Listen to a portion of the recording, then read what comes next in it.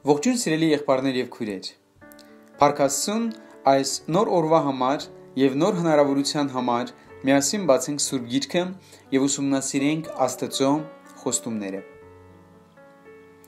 Եսայի մարգարության 49-րդ գլխի 15-րդ համարի մեջ մենք կարդում ենք.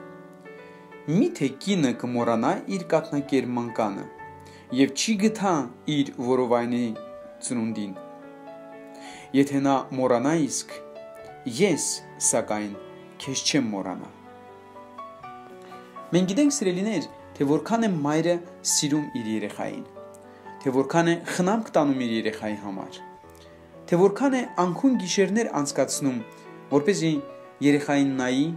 որ เป զի խնամք տանի, որ เป զի կերակրի, որ เป զի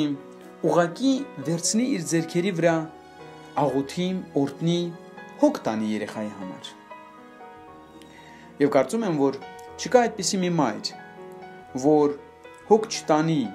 իր մանուկի համար։ Սակայն Աստծո խոսքը ասում է. Եթե նա մոռանա իսկ, ես սակայն քեզ չեմ մոռանա։ Աստված խոստանում է, որ նա երբեք քեզ չի մոռանա։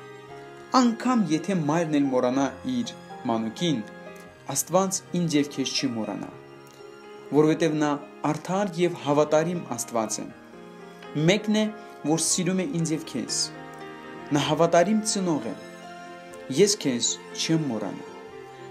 Եվ ուրեմն երբեմն թշնամին երբ որ մտքեր է բերում, որ Աստված քեզ մոռացել է, թողել է, բացիր Եսայի մարգարության 49:15-ը։ Եվ այնտեղ լսիր Աստծո խոսքը, նրա ձայնը, սակայն ես քեզ չեմ մոռանա։